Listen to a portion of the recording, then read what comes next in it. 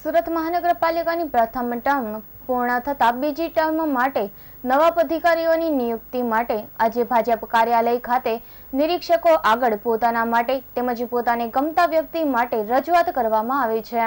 પ્રદેશ ચૂંટણી સમિતિ દ્વારા આ વખતે પ્રથમવાર હોદ્દેદારોને પસંદ કરવા માટે નિરીક્ષકોની નિમણૂક કરવામાં આવી હતી.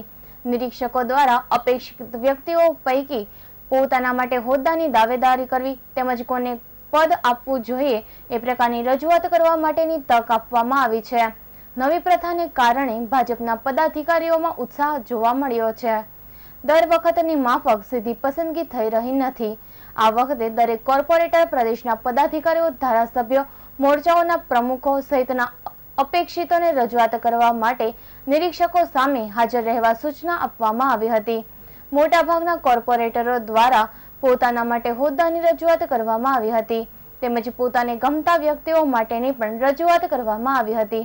આશ્ચર્યની વાત એ છે કે અત્યારના મહાનગરપાલિકામાં મેયર સ્ટેન્ડિંગ કમિટી ચેરમેન અને શાસક પક્ષના નેતા જેવા મહત્વના પદ ઉપર ફરીથી તેમને લેવામાં ન આવે અને અન્ય વ્યક્તિઓને લેવામાં આવે તે પ્રકારની રજૂઆત થઈ રહી છે. નો રિપીટેશન કરીને અન્ય લોકોને તક આપવામાં આવે તેવી આંતરિક ચર્ચા ખૂબ જોરમાં છે. આમ આદમી પાર્ટીને છોડીને ભાજપમાં આવેલા કોર્પોરેટરોએ પણ રજૂઆત કરી હતી. પોતે કાયદેસર રીતે હજી ભારતીય જનતા પાર્ટીના કોર્પોરેટર ન થવાને કારણે પોતાને કોઈ પદ મળવાનું નથી. તેથી તેમણે પોતાના મનગમતા વ્યક્તિ માટે રજૂઆત કરી હતી. જોકે કોર્પોરેશનના ભાજપના પદ ઈચ્છતા વ્યક્તિઓએ પણ આમ આદમી પાર્ટી તરફથી તેમની રજૂઆત થાય તેવા પ્રયાસ કર્યા છે.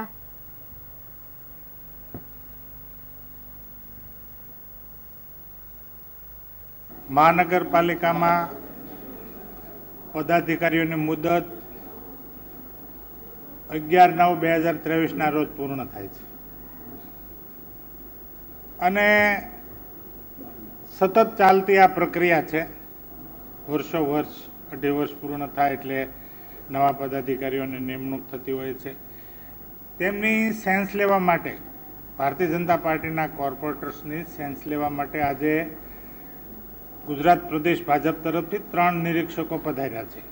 એમાં એક દુષ્યંતભાઈ પટેલ છે, એક મધુભાઈ કથિરિયા છે અને એક સીતાબેન નાયક છે. અને સવારે સવારના દસ વાગ્યાથી આ દરેક કોર્પોરેટરને વ્યક્તિગત કે સમૂહમાં એમને અનુકૂળતા હોય તે રીતે રજૂઆત કરે છે અને રજૂઆત સાંભળે છે. અને પછી તે તેમનો તમામ રિપોર્ટ પ્રદેશ પાર્લામેન્ટરી બોર્ડની અંદર રજૂ કરશે.